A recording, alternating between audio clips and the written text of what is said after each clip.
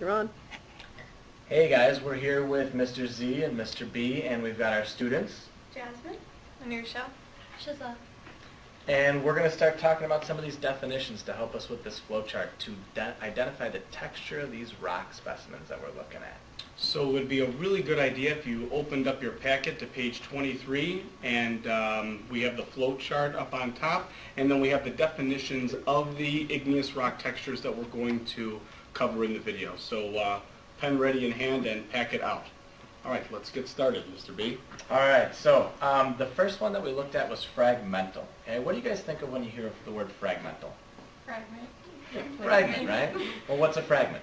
A bunch of little pieces, right? Okay, so when we think about little pieces, we're thinking about during or following an eruption, we have a bunch of other little pieces that are fused together. Okay, so let's say you've got a bunch of rocks that are on the side of a mountain or the side of a volcano have an eruption, and then the lava that comes out fuses all those pieces together. Okay? That's what we call a fragmental rock. It's just materials fused together during or following an eruption. Okay? If you guys want to see an example of it, we've got an example. It's this kind of white-looking one with bigger rocks found inside of it. Okay? So if you see it, we've got different sizes of it put together. Okay? So we've got fragments of other rocks. They're all fused together. Mm -hmm. Make sense? Okay. Mr. Z, you want to take the next one? Of course. Uh, the next one we're going to talk about is something that is glassy. All right, and in the uh, other video, this is this was identified as this one. All right. Um, if you wouldn't mind actually picking up one of these, some of the other examples that are over there, right? So if we were taking a look at this, right, do we see any crystals in here? No. No. No, right? It's an, and actually, if you feel it, it actually feels like glass, just like like a glass jar or, uh, or a cup or anything like that. It feels like that. And this one doesn't really have any crystals. It doesn't have any crystals that can be seen or that actually formed. And the environment for producing this texture is lava itself that is instantly cooled. So it's quenched by either air or water.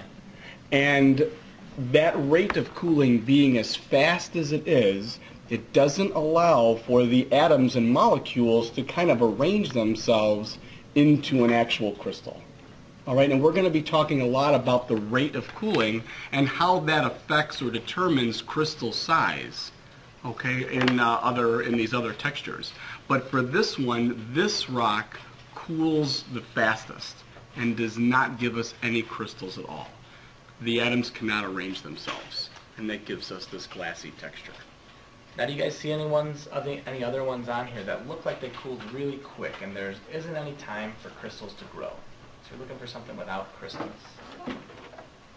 Okay, well, let's see on this one. We see some little fragments in there, some little crystals in there.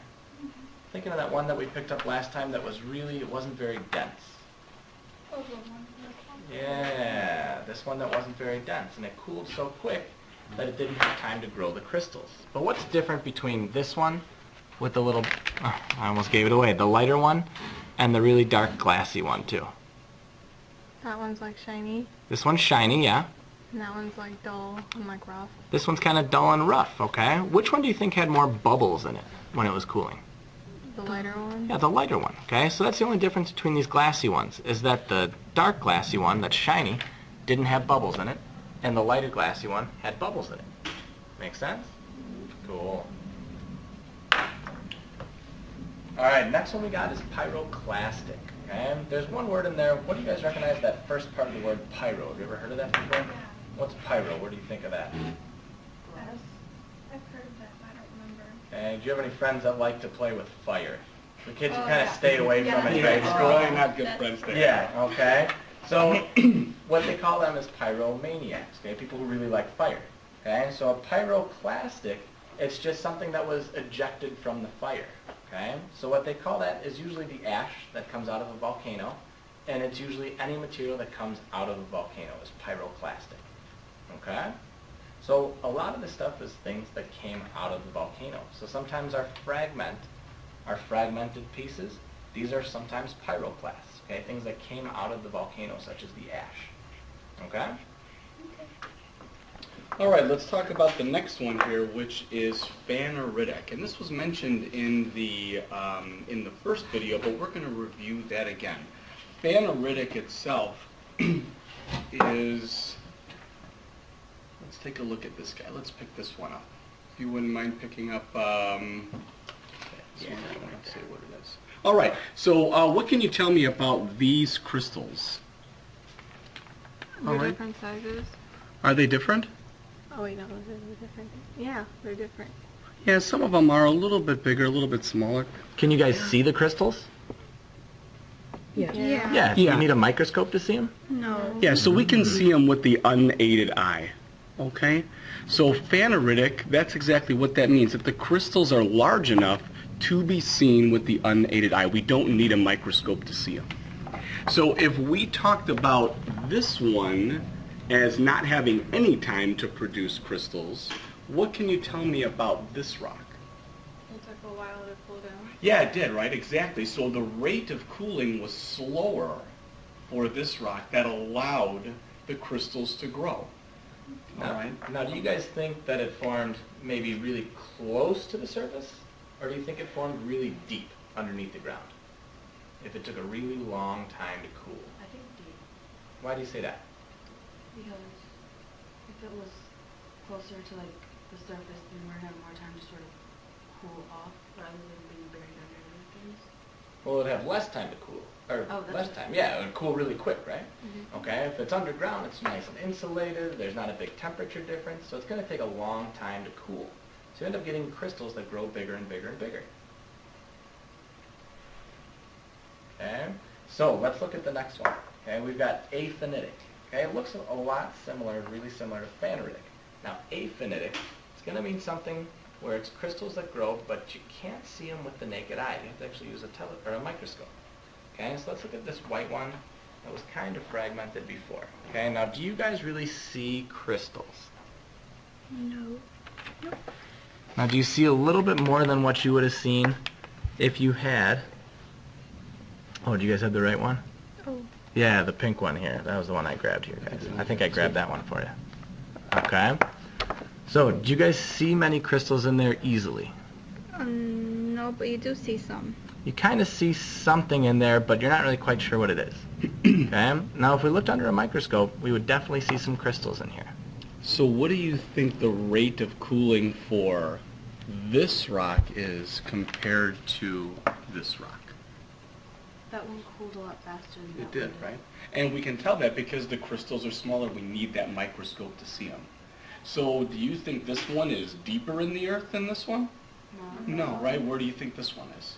Closer to the surface. Yeah, closer to the surface, exactly. And we can tell that by the crystal size. So again, the rate of cooling is determining crystal size. The faster the rate, the smaller the crystal size.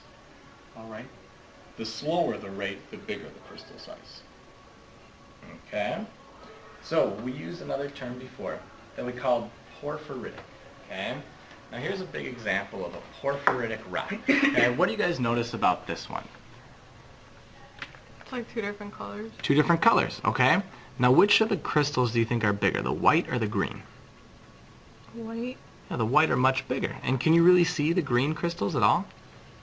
No, they're actually pretty small. You'd have to look at them with a microscope. Okay, so what we call this is we've got a rock with two types of crystals. We've got big crystals and really, really small crystals. So we call that being porphyritic. Okay, just when a rock has two crystal sizes. I got a question for you guys. How do you think this formed? Because we have small crystals and big crystals. Hmm. Like some of it was exposed and the other half wasn't. Nice, great that's job. huge. Which one do you think was formed first? This side? The bigger part or the smaller part? Oh, the the bigger part. Yeah, so what happens is the bigger crystals, they start to form really deep, okay? And then something happens that it gets moved up to the surface really fast. And then we end up forming all these green crystals, okay? So that's a porphyritic rock. When you have two different crystal sizes, it's caused from moving environments, going from a deep surface, or sorry, deep depth under earth up towards the surface. That was awesome. You guys are so smart. You should be teaching this class, not us. Uh, we can we can also use this example to go to ground mass because we kind of skipped that one. Oh, But if we uh, take a look back at this one, right, and this was mentioned in the previous video, so we have those two crystal sizes, and we already identified that the white crystals are the large ones, and what do we call those again? We have that name for them. The big Remember? crystals you can see without a microscope. And, yeah, Andretti. Wasn't the ground mass? Pheno crystal? Those are the phenocryst. Great job. So those are the phenocrysts because we can identify those, right, with the naked eye. But all these other ones, right, all those green ones, we're going to call that the ground mass. So those are kind of like the background, all right, almost, okay? And those are usually, well, they can be smaller or bigger, and we'll get to that in just a second. Okay, so if we look at the last two, we're down to two more. We got porphyritic, aphanitic. Okay, so now we're combining some terms we had. So what did porphyritic mean? Then we There's two. different. Two different sizes, okay? And now we're going to combine two different sizes with aphanitic. Okay, so what did aphanitic mean? Could you see the crystals or could you not see them?